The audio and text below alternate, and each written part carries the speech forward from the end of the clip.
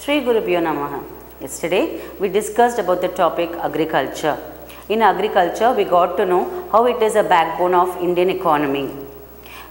Uh, I told you about the types of farming in that. We do have almost three types of farming that is primitive subsistence farming, intensive subsistence farming and you do have almost commercial farming. In that commercial farming we went on to the plantation crop all, as well uh, as well as a plantation crop in that we just discussed about how the plantation crops is commercially profitable to the nation. We also got to know about the major crops that is rice, wheat and millets in that. Then the cropping pattern we got to know uh, about the Rabi crop, Zaid crop and the Kharif crop when it is sown and when it is harvested. Today we are going to study about the food crops other than grains. Sugar cane. Sugar cane is said to be a tropical as well as a subtropical uh, crop. It grows in varieties of well drained and fertile soil. It needs almost a manual labor from sowing to harvesting. It has it is a raw material for sugar, jaggery, khandsari and molasses. It requires almost a year to grow. We grow, uh, it grows well in hot and humid climate and it needs a temperature of about 21 degree Celsius to 27 degree Celsius. It, it needs an annual rainfall between 75 centimeter and 100 centimeter and it is almost produced in Uttar Pradesh, Maharashtra, Karnataka and Andhra Pradesh and Tamil Nadu. So sugarcane is said to be a manual labor oriented where it should be sown through oh, and it will be where it takes almost a year to grow. Next we are going to see about the oil seeds. The seeds which are grown for the oil purpose we call it as a oil seeds or the seeds which gives oil we call it as an oil seeds. In that we give major importance to groundnut. Groundnut we do have that for the oil as such. So it has a variety of oil crops that are grown about almost 12 percent cropped area of the country is the oil seeds. Then it is uh, said to be used for cooking and it is a raw material for soap, cosmetics and ointments. Major oil seeds, I just told you groundnut plays a very prominent role, mustard, sunflower and castor seeds.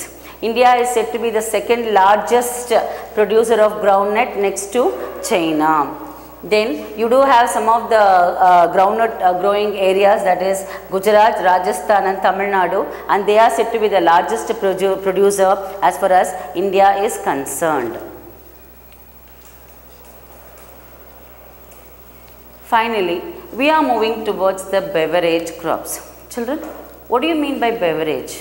Beverage is nothing but the one which you drink you drink other than water is called as a beverage of course you already know that even to this day we do have uh, some um, magnets towards uh, the coffee or tea so tea and coffee is the one which makes us to wake up early in the morning as such isn't it so we'll just go and we'll just read about the uh, tea how it is grown and what is the temperature needed for that purpose now, tea is said to be a plantation crop. Yesterday, when I was teaching you about the commercial farming, I was telling you about the plantation crop where in a largest land we do have a single crop growing and that crop it might be a tea or a coffee and this is just for a commercial or a profit purpose where the investment for it is very much large now you can see it is usually this plantation crop was introduced by British.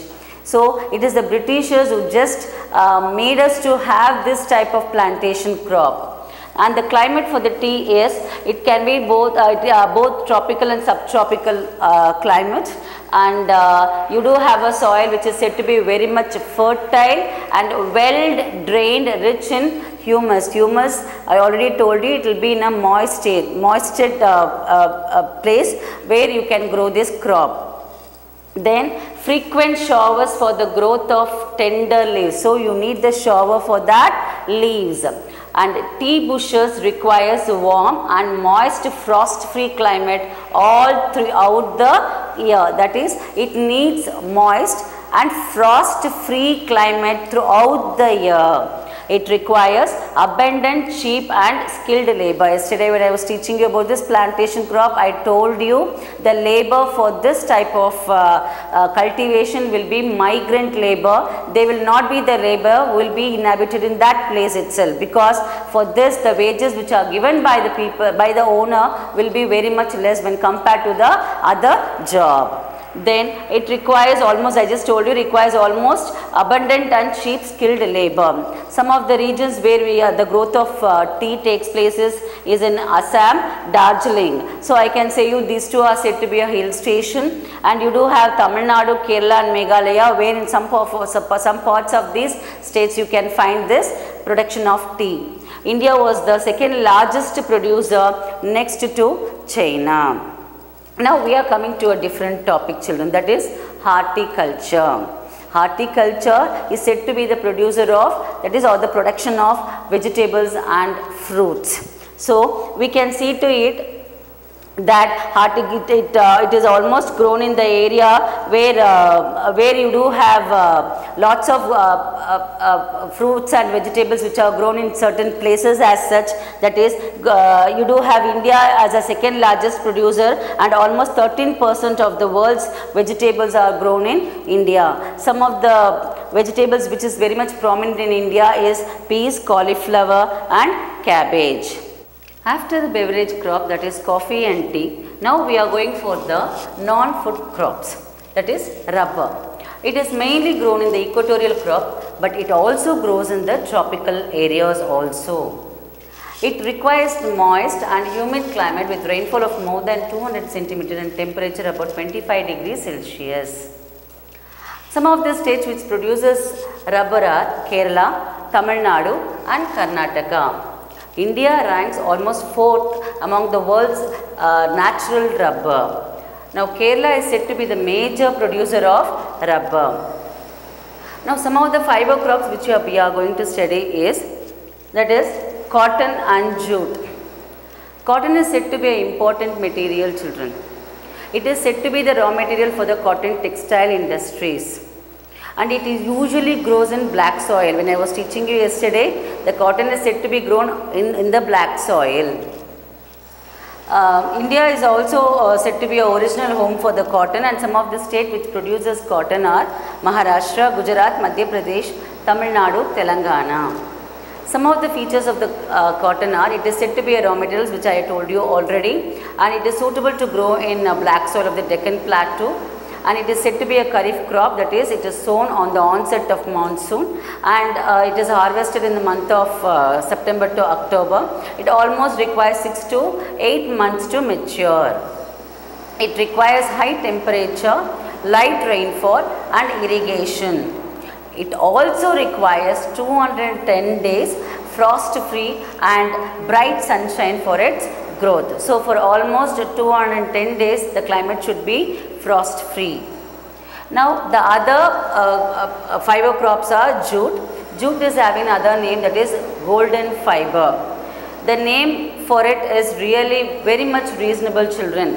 Okay, so it grows well on well drained fertile soils and high temperature is required for the cultivation of jute. So, we can see uh, the growth of jute in West Bengal, Bihar, Assam and almost these three states uh, is having the major producer for the cultivation of jute. Now the jute is said to be uh, losing its market uh, to the synthetic fibers and uh, packing materials particularly the nylon because of its high cost. So because of its high cost what happens it is losing its market Okay children, almost we got to know about the food crops, we got to know about the non-food crops and uh, fiber crops that is uh, cotton and jute. Now when we all studied about the topic uh, from the first topic till the fiber crops, we can see the people how much they depend upon the agriculture. Even though almost 60% of the population is depending upon agriculture, whether they are having a happy life, whether they are having a successful life with all the necessities which is required to them. When we come to a conclusion, the answer is no. Because even though so much of technology has improved, so much of new introduction is made in our or innovation is made in agriculture, many people are depending upon the natural fertility and monsoon for their cultivation. Now what is that? What are the reform which the institutional institution and technology is going to give to them or the government is going to give for this agriculturist? Now we are going to see what all the reforms which can be made through technology and the institution as such.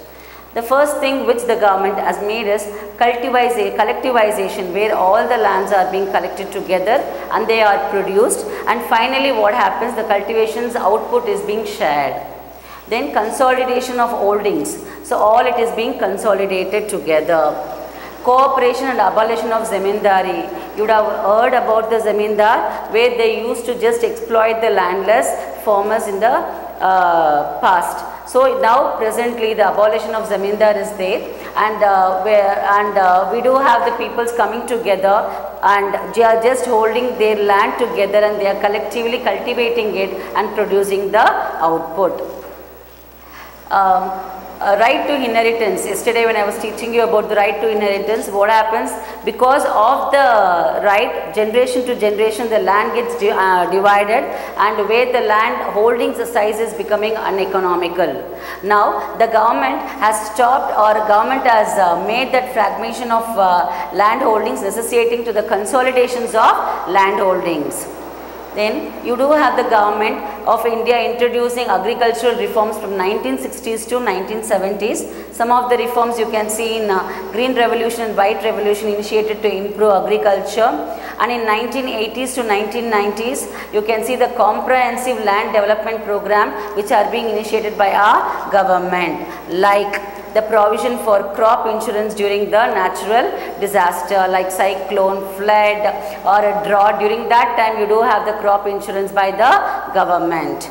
Then you can see the establishment of Grameen banks for loan with less interest. So what happens? The farmers can go towards the bank and they can get the loan for the less interest. Some of the banks you can see that Kisan credit card or you can see almost the personal accident, insurance scheme where they can go and get the money from the bank for, for the low interest. So now we do are uh, giving a lots of caution to the people through uh, television and radio by weather bulletins and agricultural programs where you can see lots of HYV seeds can be cultivated, lots of technology can be brought into the agriculture where the innovations can be more, where the production can be more and where the output can be more indirectly supporting to our country economically. Finally, we are winding up this chapter children so that we can get to know about the agriculture, the prominence of agriculture, how India is being dependent on agriculture, how India is developing through the agriculture. Thank you.